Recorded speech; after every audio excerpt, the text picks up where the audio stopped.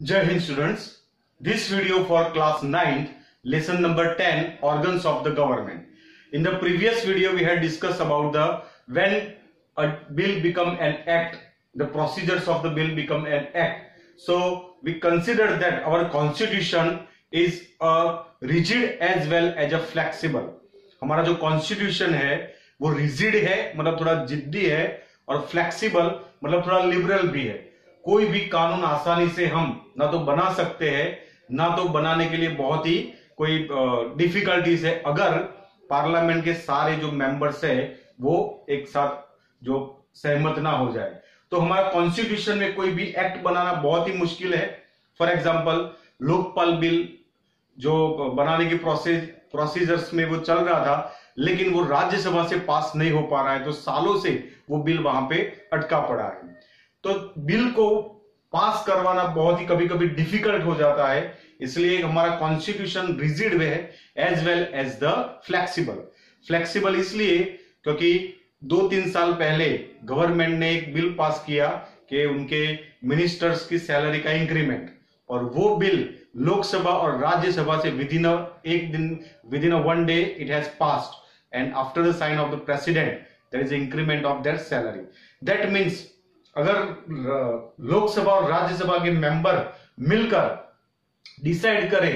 तो हमारे देश के अंदर कोई भी कानून एक दिन के अंदर बन सकता है। So our constitution is a rigid as well as the flexible we can say that and constitution constitution is the supreme not a parliament और और not any constitutional post is the supreme in our nation the constitution the constitution is the supreme कोई भी person कोई भी constitutional post है, वो supreme नहीं है। कॉन्स्टिट्यूशन ही हमारा सबसे बड़ा जो है वो बुक्स है और उसको ही फॉलो हम करते हैं। उसके बाद हमने पढ़ा था इम्पीचमेंट प्रोसेस तो मेजोरिटी से कॉन्स्टिट्यूशनल पोस्ट जो है president vice president attorney general CAG जजेस of the high court and the supreme court attorney general ये सारी पोस्ट को हम रिमूव करते हैं from the impeachment process Lok Sabha के अंदर with the two third majority Rajya Sabha के अंदर two third majority and with the pass of that bill impeachment that person has to remove from their post in this video we will study about the organs of the state government detail information about the organs of the state government so in the state that is the constitutional head is the governor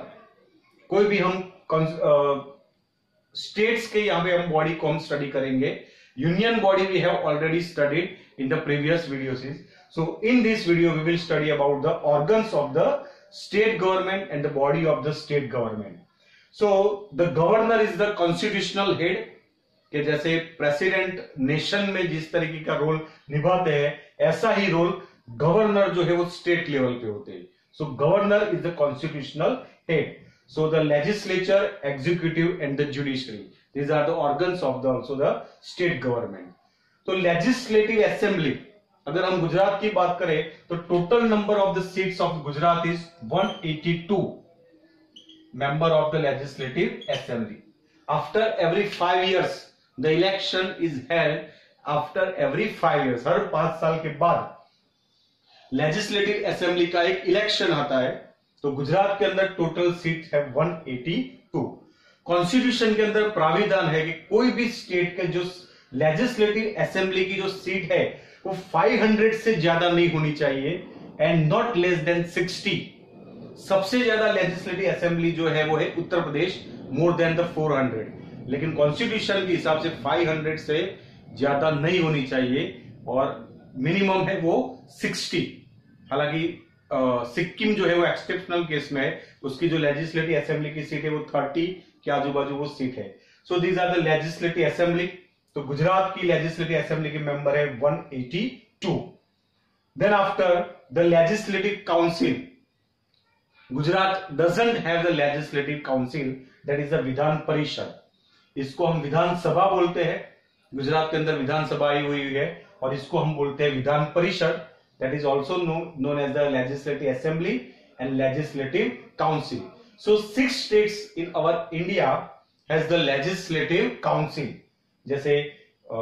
Andhra Pradesh है, महाराष्ट्र है, बिहार है UP है, तमिलनाडु है, Karnataka. This states have the legislative council. दूसरे कोई states को नहीं है, गुजरात को लेजिस्लेटिव काउंसिल नहीं है। Legislative council is the upper house अगर है तो that is the upper house of that is the legislature and the legislative assembly Vidhan Sabha is the lower house तो अभी हम उसके किस तरीके से क्वालिफिकेशन है? We will study what is the qualification to become the MLA in the member of the legislative assembly and the legislative council same as the Lok Sabha as Rajya Sabha legislative assembly के लिए Indian citizen 25 years or more than 25 years, not a unsound or a mentally, that is not a proven criminal and not a government salary employee. This is for the legislative assembly. In the legislative council same as uh, there is a uh, 30 or 30 years above indian citizen not mentally disturbed bankrupt or the unsound person and not a government salary employed person and also that is the uh, from the indian citizen. So that person can eligible for the become of the member of the legislative assembly and the council so these are the qualification for the legislative assembly and the legislative council in the legislative council जहाँ पे legislative council है भारत के अंदर वहाँ के जो members है वो ग्रेजुएशन जो कॉलेजेस में पढ़ते हैं कॉलेजेस पास करते हैं कर, कर दिया है वो from the local self government teachers from secondary and higher secondary that can become a member of the legislative council. So these are regarding about the legislative council. Legislative council same role as the Rajya Sabha. The legislative council is a permanent house of this legislature. उसका जो एक person का जो term है वो है six years one person term is the six years and after every two years same like as the Rajya Sabha जैसे राज्यसभा में दो साल के बाद जो वन थर्ड मेंबर रिटायर्ड होते हैं और एड होते ऐसे लेजिस्लेटिव काउंसिल में भी after every two years one third member retired and the new becomes of the member of the legislative assembly so this regarding about the legislative assembly and the legislative council you all of you know that is the government is held for every five years हर पाँच साल के लिए government बनती है। After every five years चाहे वो state government हो या चाहे वो सेंट्रल गवर्नमेंट हो dissolve legislative council can not dissolve Rajya Sabha can not dissolve because legislative council and Rajya Sabha is a permanent house but legislative assembly and the Lok Sabha dissolve every after every five years हर पाँच साल के बाद election आते हैं। तीन प्रकार के जो मेन इलेक्शन है देश के अंदर local self government state government और सेंट्रल गवर्नमेंट तो लोकल सेल्फ गवर्नमेंट के अंदर पाँच साल के बाद इलेक्शन आते हैं एवरी फाइव इयर्स और वो इलेक्शन के अंदर एक नई बॉडी जनरेट होती है। जैसे गुजरात के अंदर है 182 एमएलए और उसमें से executive body these all are the executive body एक है chief minister main executive body के अंदर जो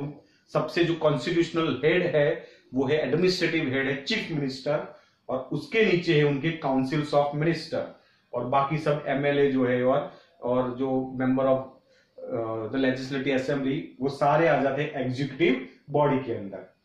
जैसे हमने प्रीवियस वीडियो में, जैसे हमने पढ़ा था that is about the speaker Lok Sabha को हैंडल करते हैं। तो यहाँ पे भी लेजिस्लेटिव असेंबली को हैंडल करते हैं speaker and deputy speaker same just like as the Lok Sabha. तो हमारे देश के कॉन्स्टिट्यूशन के अंदर बहुत ही अच्छी तरीके से बनाया गया है कि हर बॉडी एक जैसी है, उसका जो डिफरेंट रीजन के हिसाब से उसका जो लेवल है वो तय किया गया है। चाहे वो लोकल सेल्फ गवर्नमेंट हो, चाहे वो स्टेट गवर्नमेंट हो, चाहे वो सेंट्रल गवर्नमेंट हो। तो यहाँ पे भी विधानसभा के अंदर एक स्पीकर होते हैं और एक डेप्यूटी स्पीकर होते हैं, जो उनके अंदर 182 मेंबर में से ही एक elected among themselves if the any violation of the constitution if the any violation of by the government. The president can declare the constitutional emergency and impose the president's rule in the state. अगर state government constitution के हिसाब से नहीं चलती अगर state government जो है वो वो कॉन्स्टिट्यूशन का बहुत ही बड़े वायोलेशन करता है अगर जो नंबर्स ऑफ़ द सीट होती है वो बराबर नहीं पहुँच पाती। फॉर एग्ज़ाम्पल यहाँ पे 182 मेंबर्स है। तो कोई भी पॉलिटिकल पार्टी को गुजरात के अंदर रूलिंग पार्टी बनना है तो इलेक्शन के अंदर 182 में से मिनिमम 92 सीट उनको जीतनी पड़ेगी। लेकिन उतनी नहीं कर पाते, और इस प्रकार से कुछ ऐसे हालात क्रिएट होते हैं। So the president can impose the president rules in the state by the advice of the governor governor उनको एडवाइस करते हैं। गवर्नर प्रेसिडेंट के एक एजेंट है। और गवर्नर प्रेसिडेंट को ये सजेस्ट करते हैं, ये बोलते हैं कि भाई ये स्टेट के अंदर राष्ट्रपति शासन की ज़रूरत है, क्योंकि इसका जो लॉ एंड ऑर्डर है सिचुएशन बराबर नहीं है पॉलिटिकल इंस्टेबिलिटी है, ये सबके हिसाब से president can president's rule can impose of the state for the by the president of india. So, this regarding about the legislative assembly, legislative council and regarding about the, their uh, president's rule and speaker and about the deputy speaker. जो judiciary system है उसके लिए particular एक पूरा एक lesson दिया गया है आपकी टेक्स्ट बुक के अंदर इंडियन जुडिशरी उसमें हम डिटेल में पढ़ेंगे कि जुडिशरी लेवल के ऊपर स्टेट लेवल के ऊपर सबसे बड़ी होती है सुप्रीम कोर्ट और उसके अंडर में होती है सब ऑर्डिनेट कोर्ट्स मतलब डिस्ट्रिक्ट कोर्ट है तालुका कोर्ट है सेशन कोर्ट है इवनिंग कोर्ट्स है these all are called the subordinate courts we will deeply study in the lesson number uh, indian judiciary system so this regarding about the state legislative assembly and the organs of the state government in short the political uh, the political executives and the administrative executives ये दोनों का आपको यहाँ पे मतलब समझना है political executives and the administrative executives. Political executives are appointed only for the five years. Prime minister हो, चाहे प्रेसिडेंट हो चीफ मिनिस्टर हो एमएलए हो MP these all are the political executives executives के भी दो प्रकार है एग्जीक्यूटिव बॉडी है, उसके भी दो प्रकार है political executives as well as the administrative executives political जो एग्जीक्यूटिव्स है that is for five years चाहे वो एक छोटे से गाँव का सरपंच हो या तो दुनिया का देश का सबसे बड़ी कॉन्स्टिट्यूशनल पोस्ट प्रेसिडेंट हो या प्राइम मिनिस्टर हो, ये सब पाँच साल के लिए होती है। पाँच साल के बाद वापस इलेक्शन आता है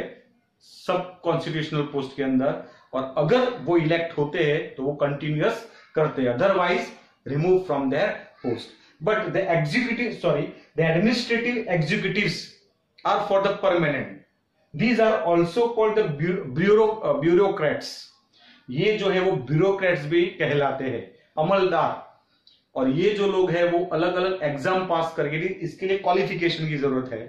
पॉलिटिकल एग्जीक्यूटिव के लिए that doesn't need any qualification जो क्वालिफिकेशन हमने पढ़ा कि 25 five years thirty years Indian citizen unsound not government salary employ these are common लेकिन कोई एजुकेशनल क्वालिफिकेशन नहीं है, चाहे वो प्रेसिडेंट के लिए हो, चाहे वो प्राइम मिनिस्टर के लिए हो, चाहे सरपंच के लिए हो एमएलए है एमपी है। कॉर्पोरेटर है. No need of any kind of the educational qualification but administrative executive जिसको हम ब्यूरोक्रेट्स कहते हैं, जैसे आईएएस है आईपीएस है आईआरएस है, कोई सेक्रेटरी है, सचिव है तो ये सारी जो पोस्ट है that is the administrative executive और उसके लिए ज़रूरत पड़ती है एजुकेशन की. उसके लिए अलग अलग एग्ज़ाम होती है. जैसे गुजरात एडमिनिस्ट्रेटिव सर्विस के अंदर जो है वो होती है एग्ज़ाम होती है GPSC Gujarat public service commission ये एग्ज़ाम के लिए मिनिमम ग्रेजुएशन और ग्रेजुएशन के बाद ये एग्ज़ाम की प्रिपरेशन और उसके अंदर मेंस होता है प्रीलिम्स होती है और इंटरव्यू होते हैं और उसके बाद जो है वो सिलेक्शन होता है और उसके बाद डेप्यूटी कलेक्टर मामलतदार और अलग अलग प्रकार की जो एडमिनिस्ट्रेटिव जो एग्जीक्यूटिव पोस्ट है वो मिलती है। और ये पोस्ट जो है वो उनकी रिटायरमेंट तक रहती है 58 ईयर 60 ईयर जो भी रिटायरमेंट एज तक रहती है। पाँच साल के लिए नहीं, ये उनके एजुकेशन क्वालिफिकेशन और उन्होंने एग्ज़ाम पास किया है। सो दैट्स वाई ही और she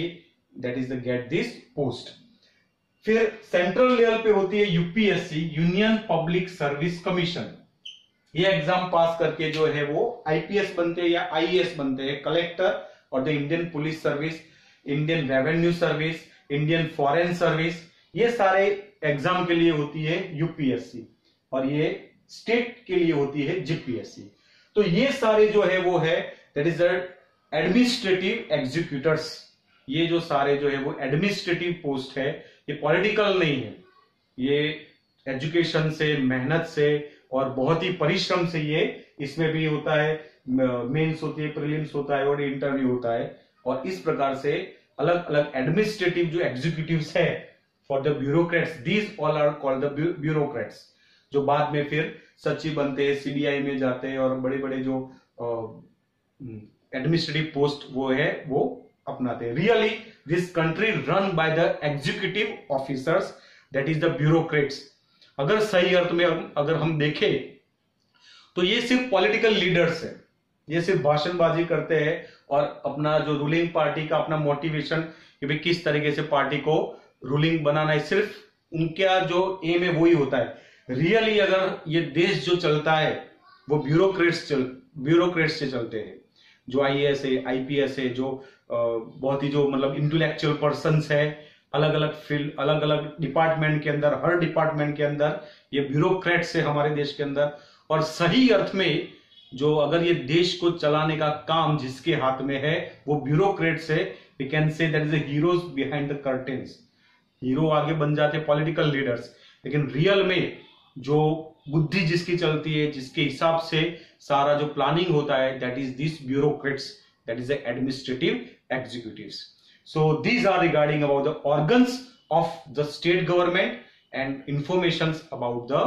political leaders, political executives and the administrative executives. In the next video, we will study about the president, qualifications of the president and uh, different topics regarding about the presidents and about the governor. Jai Hind.